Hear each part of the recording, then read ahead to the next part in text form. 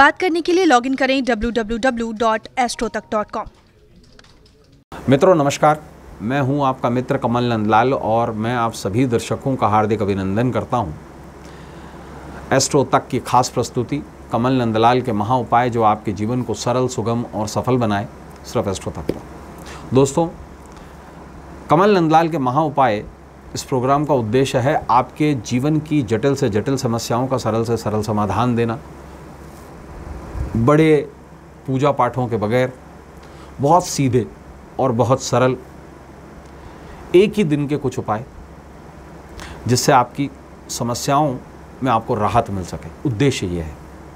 और हम आपके लिए वर्तमान समय में चला रहे हैं शनि जयंती स्पेशल सीरीज़ जिसके तहत आज भी हम बहुत ही खास विषय पर बात करेंगे। आइए जानते हैं विषय के बारे में। मित्रों आज का जो हमारा विषय है ना, वो बड़ा ख़ास है, लेकिन थोड़ा सा डरावना विषय है। जी हाँ।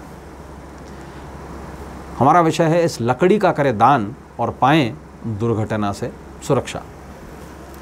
देखिए, आपने सुना होगा, शनिवार के दिन लोहा लक्कड़ नमक, जूते, तेल, ये नहीं लेना चाहिए। बिल्कुल ठीक है, इन चीज़ों पर शनि का वास होता है। और देखिए, एक कहावत और भी सुनी होगी आपने। लकड़ी जल कोयला भय कोयला भय राख।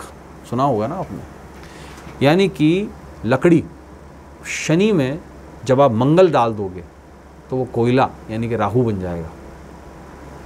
और कोयले में अगर फिर मंगल डालोगे तो वो राख यानी कि केतु बनकर मोक्ष दे देगा। ये एक सिद्धांत है। और इस सिद्धांत के पीछे ज्योतिष का विज्ञान है। आज आपको बताऊँगा एक बड़ा छोटा सा उपाय, बहुत छोटा सा उपाय और उसको करने से, निश्चित रूप से आपको दुर्घटनाओं से या आकस्मिक हादसों से, जो जीवन लेने वाली दुर्घटनाएँ होती उनसे मुक्ति मिलती है। देखिए, शनि जयंती विशेष पर्व है। ऐसे में शनिदेव उस दिन अपनी पूरी जागृत स्थिति में होते हैं। और इस बार शनि जयंती का पर्व जो है 30 मई 2022 को सोमवार के दिन है। और 300 साल बाद शनि जयंती और सोमवती अमावस्या एक ही दिन पड़ रहे हैं। बड़ा विशेष पर्व बन गया है। और ऐसे में ये जानना बहुत ज़रूरी है कि ऐसा क्या किया जाए जो हमारे जीवन को रक्षा प्रदान करे। तो विशेष आपको क्या करना है? आपको थोड़ी सी लकड़ी ले लेनी है। वो लकड़ी जो जलती है, वो लकड़ी जिससे चिता जलाई जाती है, वो लकड़ी आपको ले लेनी है।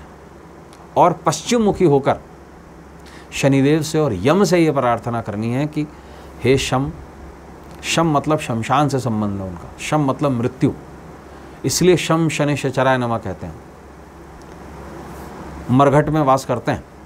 शनिदेव तो आपको क्या करना है? पश्चिम मुखी होकर, यानी कि अस्थि मुखी होकर, आप शनिदेव से प्रार्थना करें कि हे शनिदेव, मुझ पर जो कष्ट विपदाएँ हैं, उनका नाश हो और मैं सुरक्षित रहूँ।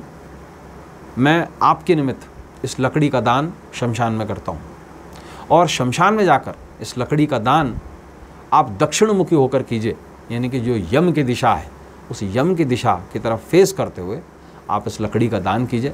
आश्वस्त करता हूँ, किसी भी प्रकार की आकस्मिक दुर्घटना, कोई जानलेवा स्थिति से आप निश्चित बाहर आ जाएँगे। दोस्तों, आज के लिए बस इतना ही। कल आपसे फिर मुलाकात होगी कमल नंदलाल के महा उपाय में। तब तक इजाज़त दीजिए और देखते रहिए एस्ट्रो तक। नमस्कार, नमः शिवाय।